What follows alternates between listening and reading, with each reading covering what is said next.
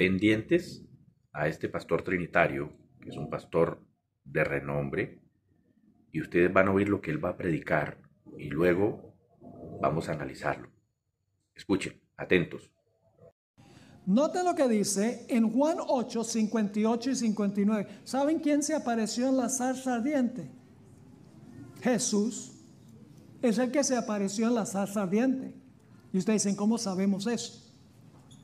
Leamos Juan 8 y el versículo 58 y 59. Jesús les dijo, de cierto, de cierto os digo, antes que Abraham fuese, yo soy. Bueno, Jesús tenía un poquito de problemas con gramática, porque nosotros diríamos, antes que Abraham fuese, yo fui. Pero ¿qué dijo Jesús? Antes que Abraham fuese, yo soy. No yo fui. Él es el yo soy. ¿Y qué hicieron los judíos? Tomaron entonces piedras para arrojárselas. Pero Jesús se escondió y salió del templo y atravesando por medio de ellos se fue. Así que, ¿por qué recogieron piedras los judíos para apedrear a Jesús? Porque él pretendía ser el personaje en la salsa ardiente, identificándose como el yo soy. Dice antes que Abraham fuese, yo soy. Es decir, Jesús creó a Abraham cuando creó a Adán. Porque Abraham vino del linaje de Adán. Ahora fíjense lo que dice en Juan 20, 28. Cuando Jesús se apareció a los discípulos la noche de la resurrección, Tomás no estaba presente. Dijo, yo no voy a aceptar que Él resucitó, al menos que yo lo vea y yo pueda poner mi dedo para estar seguro de las heridas que tuvo el Señor Jesucristo. Era un discípulo que dudaba. Y fíjense que cuando Jesús se les apareció a los discípulos, ocho días después, en Juan 20, 28 dice, entonces Tomás respondió y le dijo, Señor mío y Dios mío. ¿Cómo se refirió Tomás a Jesús? Como Dios. Dijo, Dios mío.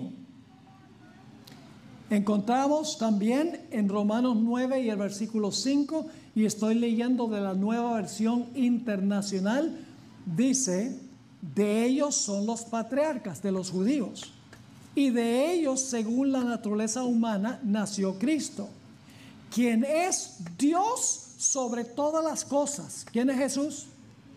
Dios sobre todas las cosas, alabado sea por siempre. Amén.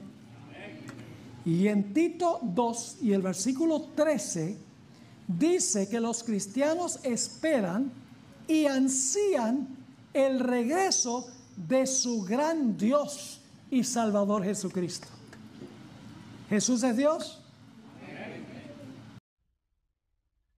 Como ustedes pudieron notar, todo el argumento que presenta este pastor trinitario tan reconocido, sencillamente es puro argumento unicitario Claro, lo que él predica está en la escritura, o sea, predicó lo que dice la Biblia, porque la Biblia sencillamente habla de unicidad por doquier. Así que ustedes oyeron que ese que era antes que Abraham, que es Jesús, es Dios, ese que fue eh, mostrado en la zarza, es Jesús, es lo que predicamos nosotros los unicitarios, el cual es Dios, ¿cierto? Y etcétera, etcétera.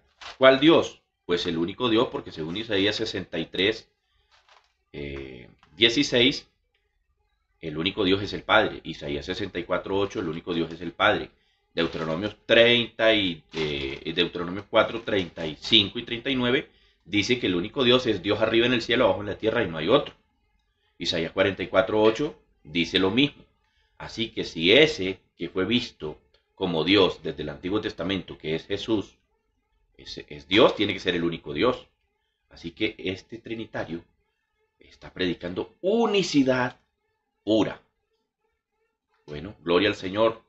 Ojalá siga predicando unicidad y renuncie a la Trinidad. Si le gustó este video, comparte. El Señor le bendiga y hasta una próxima oportunidad.